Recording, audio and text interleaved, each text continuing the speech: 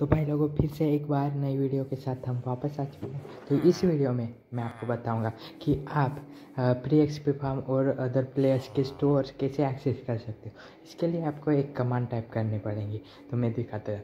तो आपको टाइप करना है स्लैश पी डब्ल्यू तो पी डब्ल्यू टाइप करने के बाद आप इंटर कर सकते हो और या फिर ये तीन चार कमांड आ रही है, वो कौन सी भी सिलेक्ट करके आप इंटर दबा सकते हैं। तो मैं पहली वाली सिलेक्ट कर लेता हूँ और इंटर दबा देता हूँ। तो इंटर दबाने के बाद ये इंटरफेस खुल जाएगा। यहाँ पे ऑल वेब्स पे आपको क्लिक करना है। यहाँ सारे वेब्स दिए हैं। तो यहाँ पे आपको दिखने लगेंगे सारे एक्सपी फार्म और स्टोर्स के वेब्स और तो यहाँ से आप एक्सेस कर सकते हो इसे तो मैं एक्स पी फार्म आपको एक्सेस करके दिखाता हूँ पहले। तो ये एंड एक्स पी फार्म लिखा है देखो।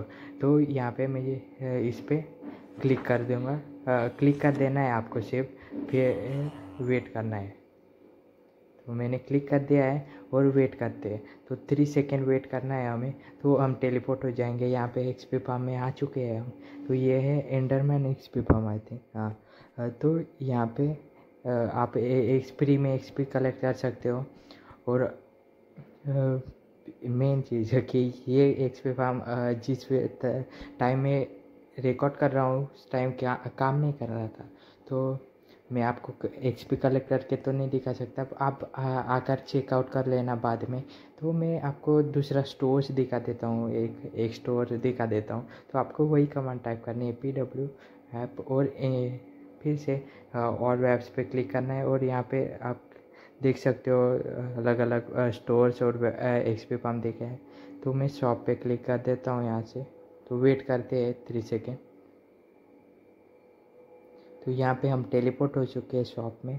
ये देखो, यहाँ पे चीज़ें रखी हुई है। उस तरह ही है जैसा एडमिन शॉप मैंने पिछले वीडियो में बताई थी। पर इसमें आप चीज़ें बेच नहीं सकते। ये प्लेयर्स ने बनाई हुई शॉप होती है तो आप भी बना सकते हैं ऐसे। अब वो मत पूछना कि कैसे बना सकते क्योंकि मुझे भी नहीं पता। तो ये अंडर कंस्ट्रक्शन है। आई थिंक ये शॉप बना रहा है वो बंदा। तो आधी कंप्लीट हुई उसके तो ये इस तरह आप एक्सेस कर सकते हो एक्स पे फार्म और स्टोर।